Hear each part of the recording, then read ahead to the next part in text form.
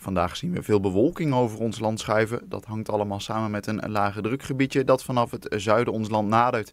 Die bewolking vormt de grens met zeer zachte lucht en daar krijgen we vooral morgen mee te maken.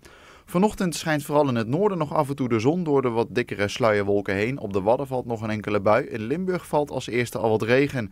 In de loop van de middag wordt vanuit het zuiden de bewolking dikker. En vanuit het zuiden wordt het dan op steeds meer plaatsen nat met wat regen of motregen.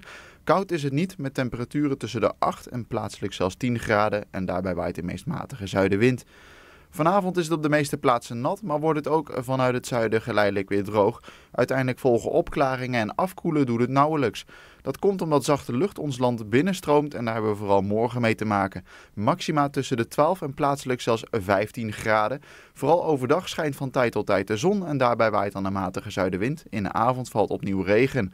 Woensdag zit er dan weer een wat koelere lucht met maxima rond een graad of 8.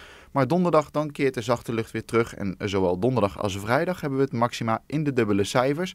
Wel valt er af en toe wat regen en met name vrijdag later op de dag is het nat. Ik ben Wilfred Jansen en ik wens u nog een fijne dag.